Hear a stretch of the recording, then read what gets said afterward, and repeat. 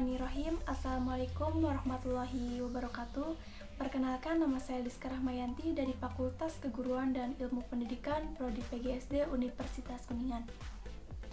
Di sini saya akan menjelaskan materi tentang mengenal nilai tempat dan bilangan serta bagaimana caranya seorang guru menyampaikan kepada peserta didik agar mudah dipahami dengan bantuan media pembelajaran yang ada di sebelah saya.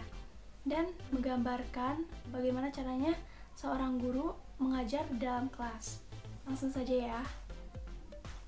Baik anak-anak, sebelum kita memulai pembelajaran, marilah kita berdoa. Berdoa dimulai. Berdoa selesai. Apa kabar anak-anak? Alhamdulillah, luar biasa. Allahu Akbar. Alhamdulillah ya anak-anak, hari ini kita dalam keadaan baik, dalam keadaan sehat. Semoga Allah selalu melindungi kita setiap hari dan di mana pun berada. Amin ya rabbal alamin. Langsung saja ya ke pengertiannya. Ada yang tahu pengertian nilai tempat itu apa? Baik, Ibu akan menjelaskan pengertian menurut Aslok. Pengertian nilai tempat adalah pemberian suatu nilai kepada masing-masing tempat atau posisi bilangan Nah, nilai tempat juga dibagi menjadi empat. Yang pertama, ada satuan yang terdiri dari satu angka. Yang kedua, ada puluhan yang terdiri dari dua angka. Yang ketiga, ada ratusan yang terdiri dari tiga angka. Dan yang terakhir adalah ribuan yang terdiri dari empat angka. Kita lanjut saja kepada poin B, ada nilai tempat puluhan dan satuan. Eh, biasanya dalam pembelajaran matematika mengajarkan pada anak SD usia awal yaitu kelas 1, 2, dan 3 biasanya mengajarkan puluhan dan satuan. Contohnya seperti angka 12 di mana angka 1 bernilai 10 dan 2 bernilai 2. Apabila dijumlahkan 10 tambah 2 hasilnya 12. Ya, poin C yaitu nilai tempat satuan puluhan dan ratusan. Contohnya 123 di mana angka 1 menunjukkan atau bernilai 100, angka 2 menunjukkan atau bernilai 20, angka 3 menunjukkan angka satuan. Terakhir kita ke poin D, yaitu nilai tempat, ribuan, ratusan, puluhan, dan satuan. Contohnya seperti 1234. Angka 1 bernilai 1000, angka 2 bernilai ratusan, angka 3 bernilai puluhan, dan 4 bernilai satuan anak-anak, di sini kita akan bermain dengan bantuan media pembelajaran yang sudah Ibu siapkan ya. Di sini ada kolom ratusan, ada kolom puluhan, dan kolom satuan. Nah, Ibu juga memiliki tiga warna sedotan. Yang pertama, warna hijau menunjukkan ratusan. Yang kedua, warna putih menunjukkan puluhan. Dan yang ketiga, warna merah menunjukkan satuan. Nah, di sini sudah ada angka yaitu 126. Angka satunya menunjukkan nilai berapa?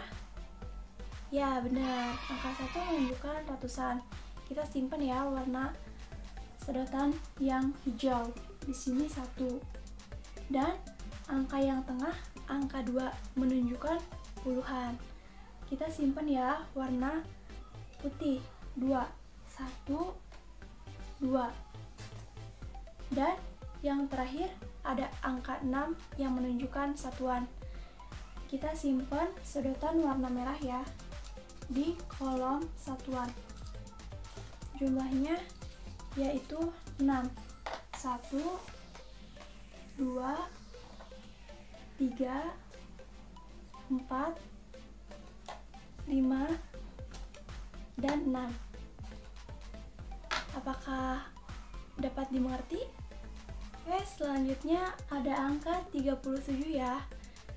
Angka tiganya menunjukkan puluhan. Ada berapa? Kita simpan ya sedotan warna putih di kolom puluhan. Ada tiga, kita hitung ya. Satu, dua, dan tiga terakhir. Dan di sebelah tiga ada angka tujuh yang menunjukkan angka satuan. Kita simpan uh, sedotan warna merah di kolom satuan.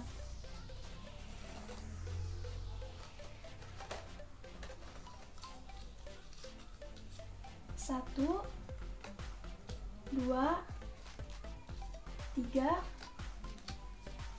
empat, 5 6 7 Oke, baik. Anak-anak, apakah dengan bantuan media pembelajaran dapat dipahami? Alhamdulillah ya, cukup dipahami. Robil Alamin, penyampaian materi telah selesai. Ibu rasa cukup dan kalian sudah memahaminya uh, dengan jelas. Ibu harap kalian mempelajarinya atau mengulas kembali di rumah agar materi yang hari ini sudah Ibu sampaikan tidak terlupakan.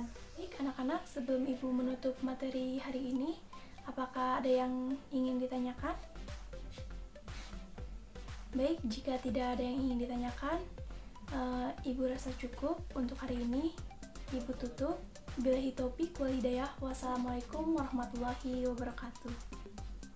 Bila di dalam penyampaian atau pemaparan materi yang kurang jelas dan masih banyak kekurangan, mohon dimaafkan. Saya Rizka Rahmayanti, izin undur diri. Wassalamualaikum warahmatullahi wabarakatuh.